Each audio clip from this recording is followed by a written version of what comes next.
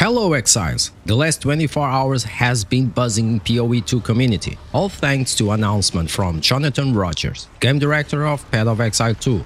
It's official, the early access launch has been delayed by 3 weeks. Hi, I'm Jonathan Rogers, game director on Path of Exile 2. Unfortunately, I have some really bad news. We have to delay early access for 3 weeks. The new date is the 6th of December. Delays can be a bit frustrating, especially for a game as hyped as PoE2, but Jonathan and the team at Grinding Gear Games have a solid reason for the extra wait. Their plan is to make sure all our items and purchases from PoE1 carry over seamlessly to PoE2, and to pull that off smoothly they need a few more weeks. So what happened? Well, it turns out it isn't really the game itself that we're behind on. It's a bunch of server-side infrastructure work that has taken us a lot longer than we expected. Now, one of the key promises we made is that all your microtransactions will work across both PoE 1 and 2. In order to do that, we have to integrate the account systems for not only PoE 1 and 2, but also for the console realms as well. This meant changing a lot of things. Not only do we have to create a bunch of new systems, we have to make sure that all the old data is backwards compatible with them as well. And when you start migrating databases that are this old and with this much data, you find all sorts of strange demons in there. How do multiple accounts get the same name? How do multiple accounts get the same email address? How do multiple accounts have the same Steam IDs? Why is this person's account name just random gibberish that doesn't even decode? We have to get everything perfect so that nobody loses anything they paid for and nobody has their account broken.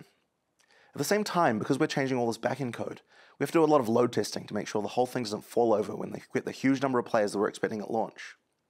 I actually believe that we could possibly have made the original launch date, but I'm no longer confident we could do it without making mistakes.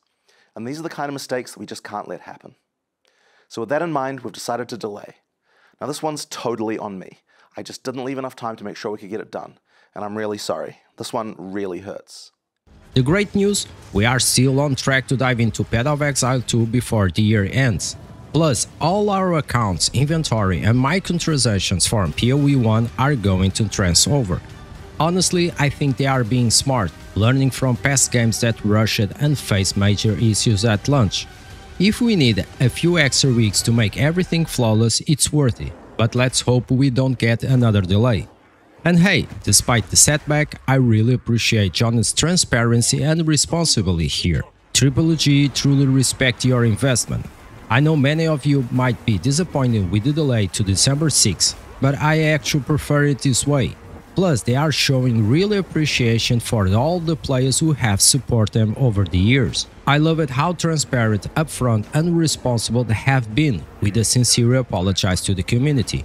As someone who plays Diablo since Diablo 1, Triple G has really earned my respect and won my loyalty. Oh, and there's something to look forward to. They are planning a huge live stream in about 4 weeks, now we're going to be having a live stream talking about all the content you can expect in PoE2's early access in about four weeks. You can think of it like the biggest league announcement we've ever done. I'm really looking forward to telling you guys about the in-game content that the team have been working hard on. Until then, thank you very much for your support. So until then, we wait. But the hype is real. Thanks for watching Exilers and catch you in the next video.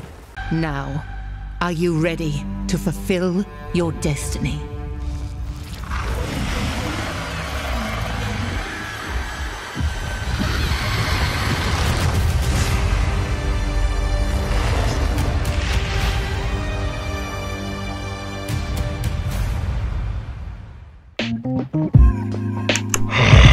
Fresh meat.